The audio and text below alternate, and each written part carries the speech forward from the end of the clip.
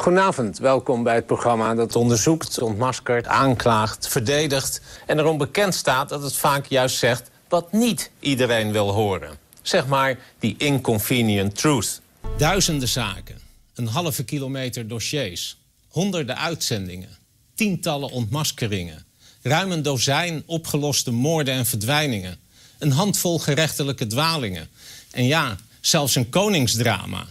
Ontelbare confrontaties en verborgen cameraacties met oplichters, pedofielen, wapenhandelaren, drugsdealers, verkrachters, moordenaars, voortvluchtigen, overvallers en afpersers.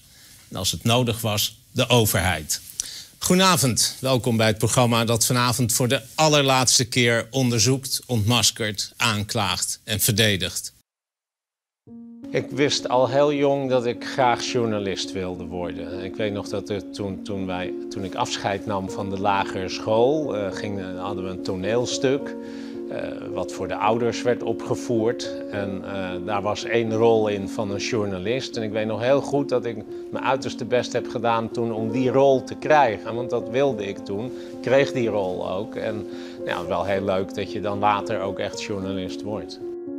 Uh, ik was in mijn jeugd ja, heel rebels. Een rebel tegen mijn ouders, tegen de school, maar ook tegen de kerk. Ik kom uit een uh, christelijk gezin, ben christelijk opgevoed.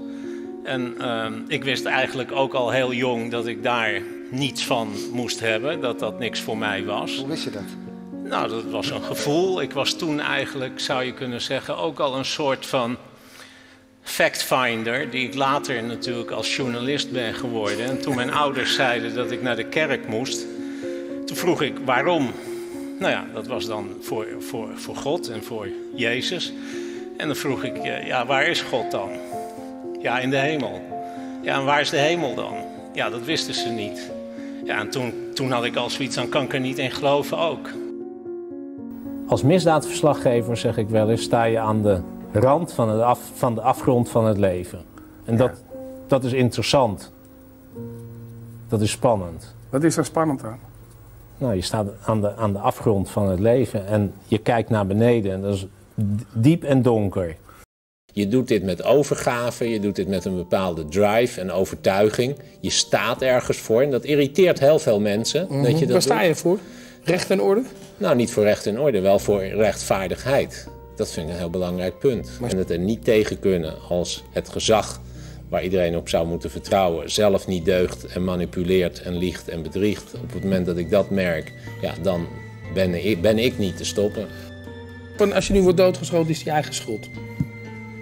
Nou, het zal, zal niet ik stel het een beetje zijn. extreem, maar goed bij wijze van spreken.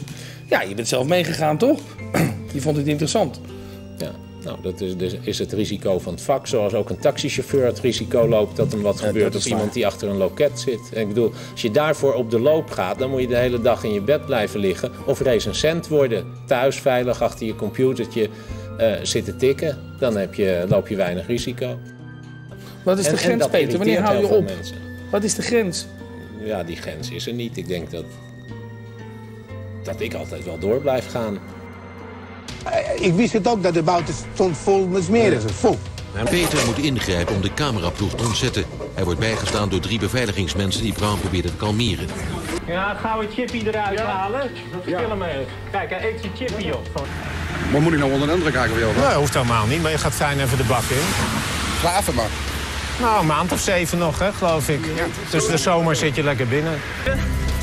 Ja? Ja, dat is zo.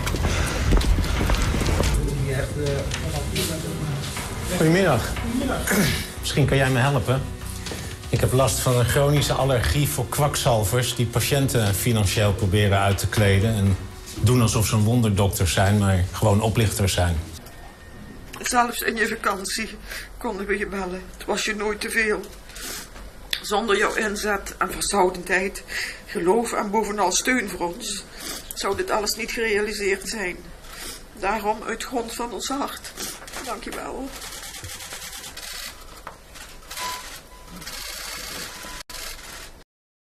Ja, ik ben vaak bedreigd. En hoe is dat gekomen? Ja, meestal gebeurt dat omdat je natuurlijk iets over iemand uitzendt of publiceert wat die persoon niet fijn vindt. Nou ja, dan kan het wel eens gebeuren dat ze je bedreigen en wraak willen nemen. En, uh, ja, dat, dat hoort helaas een beetje bij het vak van misdaadverslaggever.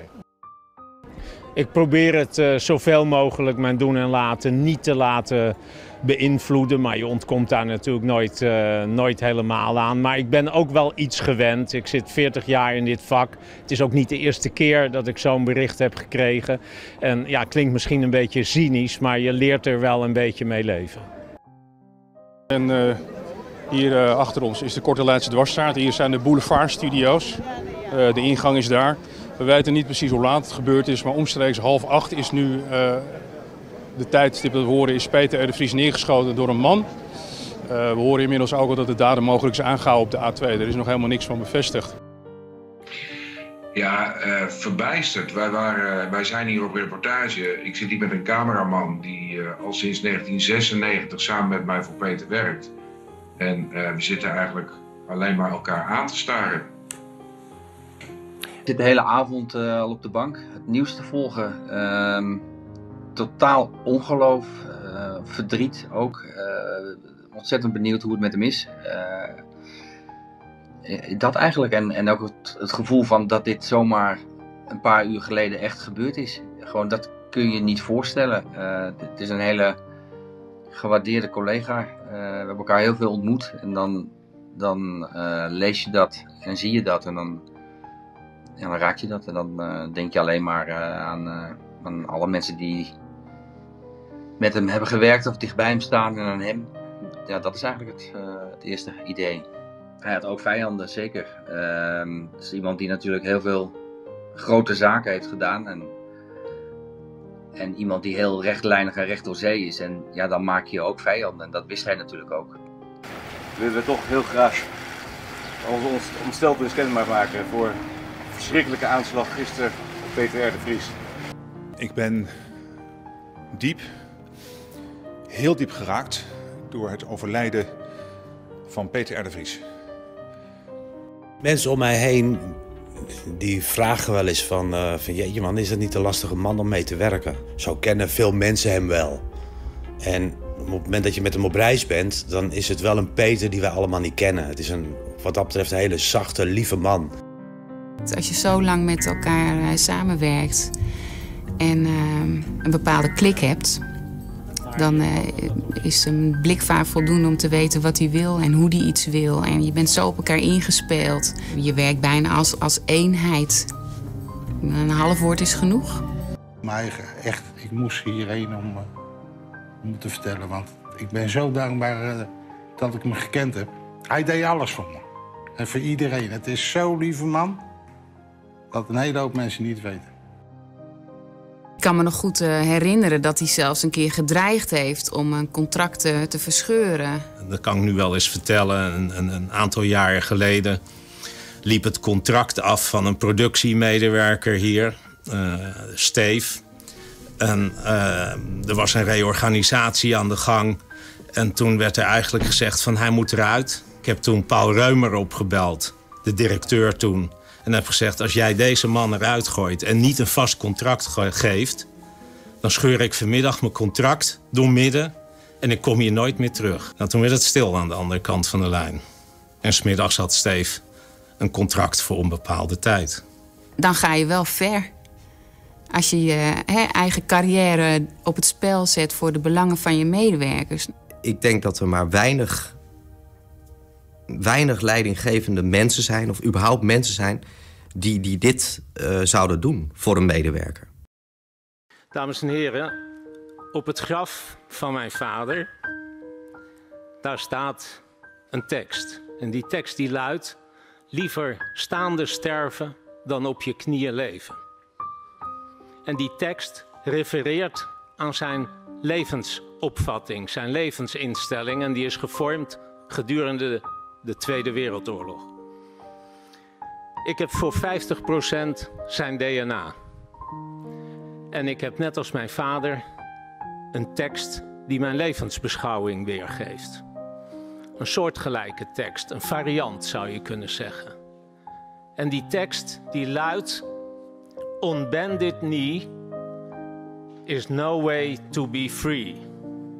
En dat wil zeggen dat we aan niemand ondergeschikt zijn.